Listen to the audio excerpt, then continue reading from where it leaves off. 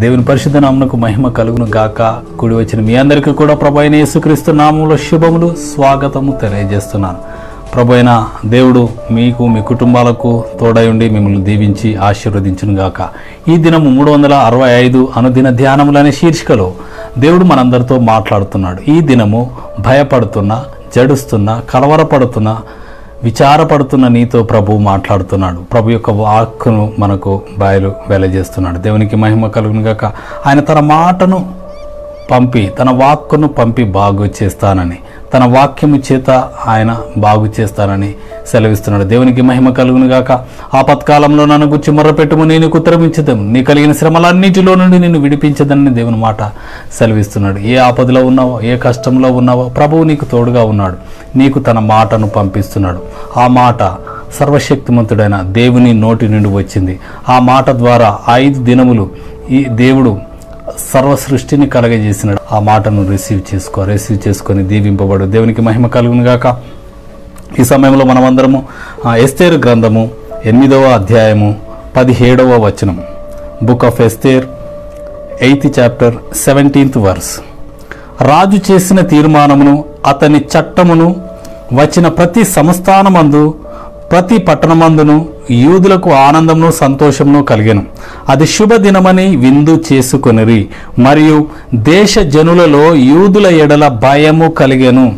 కనుక అనేకులు యూదుల మతము అవలంబించిరి. దేవునికి మహిమ కలుగునుగా అక్కడ ఇక్కడ ఎస్తేర్ గ్రంథంలో మనం చూసినట్లయితే టోటల్గా పది అధ్యాయాలు ఉంటున్నాయి. ఈ యొక్క పది అధ్యాయాల్లో దేవుడు యహోవాని ఎక్కడ రాయబడి ఉండదు.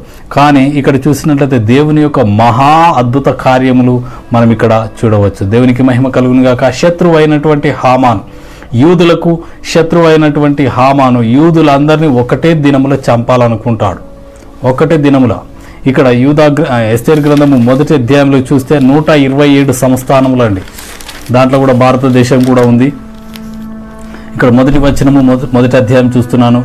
అహశ్వరోషు దినములలో జరిగిన చర్య వివరము హిందూ దేశము మొదలుకొని కూషు దేశము వరకు నూట ఇరవై ఏడు సంస్థానములను అహశ్వరోజు రోషు ఏలెను ఎన్నని నూట ఇరవై దేశాలను ఒక్క రాజు పరిపాలిస్తున్నాడు ఏలుతున్నాడు. ఏలుతున్నటువంటి ఇతని ఇతని ఆధీనములో స్వాధీనములో భారతదేశం కూడా ఉన్నది. ఈ భారతదేశం కూడా ఉన్నటువంటి ఇలాంటి భారతదేశాలు లాంటి నూట ఇరవై ఏడు దేశాలకు ఒక్క రాజు ఎవరు? అహశ్వరోషు. ఆయన భార్య ఆయన భార్య అతనికి వ్యతిరేకంగా వస్తి అని ఆయన యొక్క రాణి అయినటువంటి వస్తి. ఆ వస్తి ఆయన ఎడల కొంచెం విముఖత చూపించినప్పుడు ఆమెను తొలగించి ఆమె స్థానంలో ఇంకొక రాణిని నియమించాలని ఆమె ఆయన ఆశపడినప్పుడు ఈ యొక్క బానిస అయినటువంటి తల్లిదండ్రులు లేనటువంటి అమ్మాయి ఎస్తేరు. తల్లిదండ్రులు లేరండి. చిన్న తండ్రి దగ్గర ఆ చిన్న తండ్రి దగ్గర ఆమె పెరుగుతూ ఉన్నది. ఆ యొక్క ఆ- యొక్క మొరదకై మొరదకై చిన్ననాన్నగా ఉంటున్నాడు. ఆ యొక్క ఆయన సంరక్షణలో ఎస్తేరు పెరుగుతూ ఉన్నది. పెరుగుతున్న ఆమె ఆమె యొక్క రాణిగా ఎంచబడడానికి ఈ యొక్క రాజు సంస్థానమునకు తీసుకొని రాబడుతుంది. వారందరూ అక్కడ తయారు చేస్తారు. తయారు చేసి నిలబెట్టినప్పుడు దేవుని యొక్క దయ ఎవరి మీద ఉందంట? ఎస్తేరు మీద ఉన్నది. దేవుని దయ కనికరం. ఎస్తేరు మీద ఉన్నది కాబట్టి రాజు ఎస్తేరుని చూడగానే రాజు ఎస్తేరుని చూడగానే దయ కలిగిందట. దయ కలిగి ఈమెనే నా రాణి అని చెప్పేసి ఆ యొక్క దండమును చాపడము రాణిగా సెలెక్ట్ చేయడం జరుగుతుంది. ఆ క్రమంలో ఆ యొక్క రాజు దగ్గర ఉన్నటువంటి సైన్యాధ్యక్షుడైనటువంటి ద సెకండ్ థర్డ్ పొజిషన్లో ఉన్నటువంటి ఆ యొక్క సంస్థానంలో ఉన్నటువంటి హామాను అనే ముఖ్య సలహాదారుడు మరి ఇంకా అతను ఏ స్థానంలో ఉన్నాడు సైన్యములకు కానీ హామాను యూదులకు శత్రువు. ఆ యూదులకు శత్రువుగా ఉన్నాడు. శత్రువుగా ఉన్నటువంటి ఆ యొక్క హామాను యూదులందరినీ హతము చేయాలని అది కూడా ఎలా? ఒక్కటే రోజున. ఒక్క రోజునే అందరి ఈ నూట ఇరవై ఏడు దేశములలో ఉన్నటువంటి ప్రతి ఒక్క యూదుడిని కూడా ఒకటే రోజు ఒకటే సమయమందు చంపాలని పన్నాగము పనినాడు. ఒక కుట్ర పనినాడు. ఆ కుట్ర విషయమై ఈ యొక్క మొదకై తెలుస్తుంది. అలాగే రాణి అయినటువంటి ఎస్తేరుకు తెలుస్తుంది. అప్పుడు మొదకై అంటాడు ఒక మాట రాణి అయిన ఎస్తేరు ఈ ఈ నిమిత్తమే యూదులను రక్షించు నిమిత్తమే దేవుడు నిన్ను ఆ యొక్క రాణి స్థానంలో ఉంచాడేమో. నీవు ఇప్పుడైనా వెళ్ళి రాజు దగ్గర నువ్వు అడుగు అని చెప్పేసి అంటాడు. అన్నప్పుడు ఆమె తొందరపడి వెళ్ళదు. వెళ్ళకుండా ఆమె మూడు దినములు ఉపవాసము ఉండి తన చెలికత్తలతో సహా అక్కడ ఆమెతో ఉన్న వారందరితో సహా మూడు దినములు ఉపవాసం ఉండి ఆమె ఆ యొక్క రాణి అయినటువంటి ఆ వస్ రాణి వస్త్రములన్నీ ధరించుకుంటుంటుంది. ధరించుకొని వెళ్ళకూడని సమయంలో వెళ్ళకూడని సమయంలో వెళ్తుంది రాజు దగ్గరికి. రాజు కూడా ఆ సమయంలో అంటే ఆ- కాలంలో ఎలా ఉంటుందంటే రాజు పిలిస్తేనే రాణి అయినా ఆయన గృహంలోనికి ఆయన యొక్క సంస్థానంలోనికి వెళ్ళాలి. ఎప్పుడు పడితే అప్పుడు వెళ్ళడానికి వీల్లేదు. రాజు పిలిచినప్పుడు రమ్మన్నప్పుడు మాత్రమే వెళ్ళాలి. కానీ ఆమె అలాగూ కాకుండా నేను నశించినా నశించిపోతాను. నా ప్రజలందరూ నా జనులందరూ నశించిపోతున్నారు. వారి కొరకు నేను నశించినా నశించిపోతాను. అందు అందునిమిత్తమే కావచ్చు నా దేవుడు నన్ను ఈ స్థానంలో ఉంచినాడు. నేను నశించినా పర్వాలేదు నేను వెళ్తానని చెప్పి వెళ్తుంది. వెళ్ళి ఆ యొక్క పెద్ద ద్వారం ఇలాగ తీసి తీసి ఆ సంస్థానము ఆ గొప్ప సంస్థానం ఆ రాజసింహాసనము ఆ ఎదుట ఉన్నటువంటి ద్వారమును తెరిచి లోనికి అడుగు పెడుతుంది. అడుగు పెట్టగానే ఆ రాజుకు కోపం రాదు.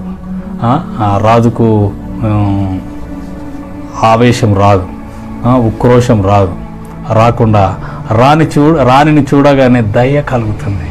హీ కంపాషనేట్ హర్ కంపాషనేట్ ఆమె మీద దయ కలిగి ఆ దండాన్ని ఇలాగ చాపుతాడు. అంటే కలిగినప్పుడు ఆమె అప్పుడు వెళ్తుంది. వెళ్ళి రాని ఆయన ఇస్తారు నీకేమి కావాలను? కోరుకో. నీకేమి కావాలో చెప్పు. ఈ రాజ్యంలో సగం ఇవ్వాలంటే నేను అనుకుంటున్నాను. రాని స్థానంలో ఉన్న ఆమె అనుకున్నది. నీ స్థా నీ సగం రాజ్యం నాకెందుకు రా? నువ్వే నా భర్త పోయినప్పుడు ఈ మొత్తం రాజ్యం నాదేనా? మళ్ళీ దాంట్లో సగం నాకెందుకు? అని చెప్పి అనుకోవచ్చు. అలాగ అనుకోకుండా ఆమె ఏమి అడగదు. భోజనానికి డిన్నర్కి ఆహ్వానిస్తుంది. దేవునికి మహిమ కలుగును గాక. అలాగ రెండు సార్లు జరుగుతుంది. రెండు సార్లు జరిగినప్పుడు నా ప్రజలు ఎలాంటి మోసం చేయలేదు ఎలాంటి కుట్రలు పనలేదు కానీ మమ్మల్ని అందరినీ నశింప చేయాలని ఒకరు ప కుట్ర పన్నుతున్నారు అని చెప్పేసి చెప్తారు. చెప్పిన ఆ సమయంలో ఆ సంఘటన అంతా జరుగుతుంది. జరిగిన తర్వాత ఈ యొక్క ఈ యొక్క మొర్దకై మొర్దకై కూడా అక్కడ రాజు పట్ల రాజును సీక్రెట్గా హత్య చేద్దామని చెప్పేసి కుట్ర పన్న ఒక పనిన వారిని వారి కుట్రను భగ్నం చేస్తాడు. భగ్నం చేసినప్పుడు ఆ కుట్ర విషయమై రాజుకు తెలుస్తుంది. రాజుకు తెలిసి ఈ యొక్క వ్యక్తికి మీరు సన్మానం చేసినారా బహుమానం ఇచ్చినారా అంటే ఇవ్వలేదన్నప్పుడు అప్పుడు ఆ హామానును పిలుస్తాడు. హామానును పిలిచి ఇవి ఇతనికి ఏమి బహుమానం ఇవ్వాలి అంటే మంచిగా ఆయన ఒక గొప్ప ర- రథం ఎక్కియాలి ఒక కిరీటం పెట్టాలి పెట్టేసి అందరూ జయ జయ ధ్వనాలు కొడుతూ ఉన్నప్పుడు ఆయనను ఊరేగించి సన్మానించాలని చెప్పి వాని గురించి అనుకుంటాడు. కానీ అప్పుడు ఆయన గురించి కాదు ఈ ముర్దకైకి అలాగ చేయండి అని చెప్పేసి అంటాడు. ఎవడైతే శత్రువు శత్రువు నశింప చేయాలని అనుకున్నాడో అదే శత్రువు చేత రా రాజు ఊరేగింపును జరిగిస్తాడు. ఎక్కడైతే నువ్వు అవమానాలు పాలు అవుతున్నావో అక్కడే దేవుడు నిన్ను ఊరేగిస్తాడు. అక్కడే నిన్ను గణపరుస్తాడు నిన్ను హెచ్చిస్తాడు. నీ అవమానమునకు ప్రతిగా రెట్టింపు ఘనతనిస్తానని ప్రభు సెలవిస్తున్నాడు. దేవునికి మహిమ కలుగునుగాక నీవేమాత్రం కలవరపడన అవసరం లేదు. అయ్యో నేను నేను పనికి మాలిన దాన్ని నేను ఇలాంటి దాన్ని అలాంటి దాన్ని అని చెప్పేసి మనం ఎప్పుడు కూడా కృంగిపోకూడదు. దేవుడు హెచ్చిస్తే ఆ, నువ్వు ఇక అది ఎప్పటికప్పటికీ మనకు దీవెనగా ఉంటుంది. కాబట్టి మనం ఏమాత్రం కూడా కృంగిన స్థాయిలో స్థితిలో మనము ఉండకూడదు అని చెప్పేసి దేవుని వాక్యము చాలా స్పష్టంగా తెలియజేస్తుంది. దేవునికి మహిమ కలుగునుగాక ఈ యొక్క సమయంలో ఒకటే దినమున చంపాలని నిర్ణయం చేసినటువంటి హామాను ఆయన కుట్ర బయలుపడుతుంది అప్పుడు సేవకులు వచ్చి చెప్తారు రాజుకు రాజా యూదులందరినీ చంపడానికి ఈ యొక్క హామాను ఒక ఉరికొయ్యను తరిచి తయారు చేసినాడు. ఆ ఉరికొయ్య తయారు చేసి పెట్టినాడు అంటే అదే ఉరికొయ్యకు వాడిని ఉరివేసేయండి అని చెప్పేసి శత్రువు అయిన హామానును హతము చేస్తాడు దేవుడు. హతము చేసి యూదులకు గొప్ప విజయాన్ని ఇస్తాడు. అదే మురదకాయని ఆ యొక్క హామాను స్థానంలో దేవుడు నిలవబెడతాడు. నిలవబెట్టి యూదులందరికీ కూడా గొప్ప రక్షణ కలుగుతున్నది. దేవునికి మహిమ కలుగును గాక. గొప్ప రక్షణ కలుగుతుంది. ఆ సమయంలో వారు గొప్ప ఉత్సవము గొప్ప పార్టీ చేస్తున్నారు పండుగ చేస్తున్నారు. దేవునికి మహిమ కలుగును గాక. అందుకనే ఇక్కడ ఉన్న చూడండి రాజు చేసిన తీర్మానమును అతని చట్టమును వచ్చిన ప్రతి సంస్థానమందును ప్రతి పట్టణమందును యూదులకు ఆనందమును సంతోషమును కలిగను. అలాగే అది శుభదినమని విందు చేసుకున్నారు పెద్ద పండుగ చేసుకున్నారు. మరియు దేశ జనుల్లో యూదుల ఎడల యూదుల ఎడల భయము కలిగినది. భయము కలిగింది. కాబట్టి ఆ భయము చేత అనేక మంది యూదా మతమును అవలంబించుచున్నట్టుగా మనము చూడవచ్చు. దేవునికి మహిమ కలుగున. ఈనాడు ఈనాడు ఈనాడును అనేకమైనటువంటి అద్భుత ఆశ్చర్య కార్యాలను చూస్తున్నారు. చూసిన వారు దేవుని యందు భయభక్తులు కలిగి ఉంటారా? లేక ఆ అన్యులు ప్రవర్తించినట్లుగా ప్రవర్తిస్తున్నామా? అన్యుల వంశపారంపర్యాచారముల చొప్పున కట్టడల చొప్పున ఆ యొక్క తీర్మానాల చొప్పున సంఘములో పితరులు చేసినటువంటి ఆ యొక్క రూల్స్ అండ్ రెగ్యులేషన్ ప్రకారం చేస్తున్నామా? దేవుని కట్టడ ప్రకారం నడుస్తున్నామా?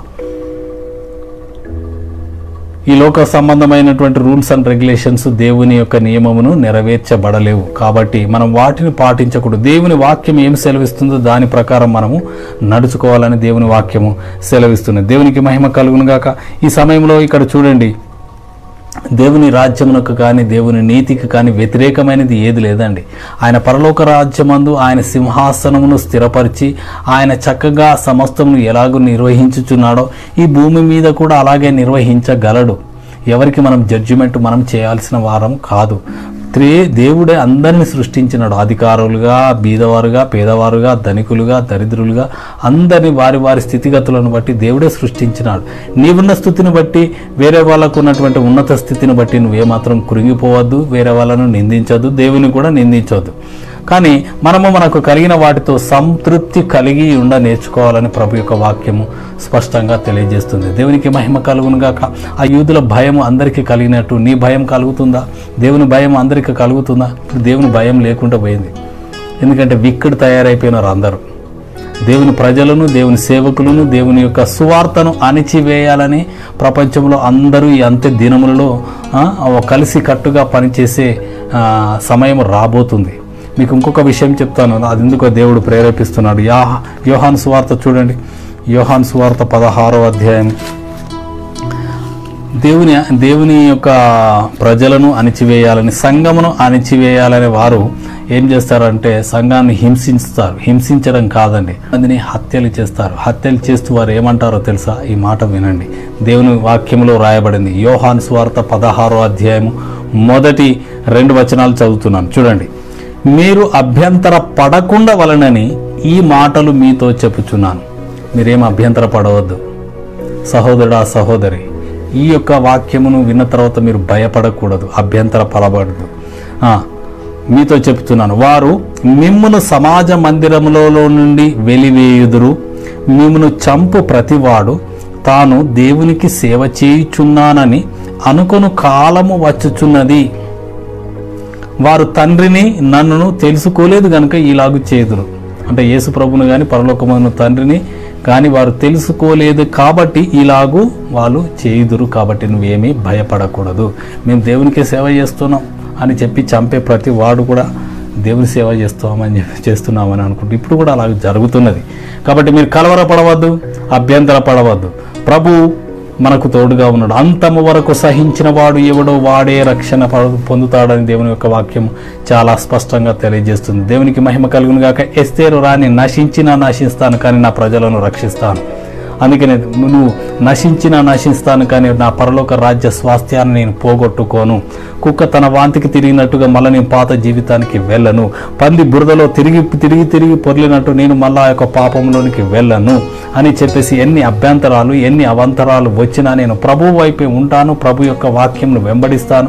ప్రభు కొరకు నేను హతసాక్షినైన ప్రభు యొక్క మార్గంను నేను విడువను అని చెప్పి ఒక కృత నిశ్చయంతో మనం ముందుకు సాగిపోతూ ప్రభు ఆత్మశక్తి చేత నింపబడి ప్రభుకు ప్రభుతో పాటు పరలోక రాజ్యములో ప్రవేశించాలని నిత్య జీవంలో నిలిచి ఉండాలని ప్రభు కోరుతున్నాడు. అందుకే అంటున్నాడు అంతము వరకు అంతము వరకు సహించిన వాడు ఎవడో వాడే రక్షింపబడును. కలుగును ప్రార్థన చేసుకుందాం. థ్యాంక్ యూ లాడ్ నీకు వందనాలు చెల్లించుకుంటున్నాం. యూదులందరినీ ఒక్క దినంలో నశింప చేయాలని వాడు నశించిపోయినాడు. మీ యొక్క ప్రేమ ఎంతో గొప్పది దేవా నీకే వందనాలు చెల్లించుకుంటున్నాం. తండ్రి అంతము వరకు నాయన ప్రభా నమ్మకంగా ఉన్నవాడు రక్షింపబడతాడన్నావు మీ కృప మాకు దయచేయండి. మీ జాలి దయ మాకు దయచేయండి. ఇవన్న ఆశీర్వాదముల చేత మమ్మల్ని నింపమని మా ప్రభు మీ ప్రియ కుమారుడైన యేసుక్రీస్తు పరిశుద్ధ నామను ప్రార్థించి అడిగి వేడుకుంటున్నాం తండ్రి. ఆమె దేవుడు మీరు సమృద్ధిగా దీవించను గాక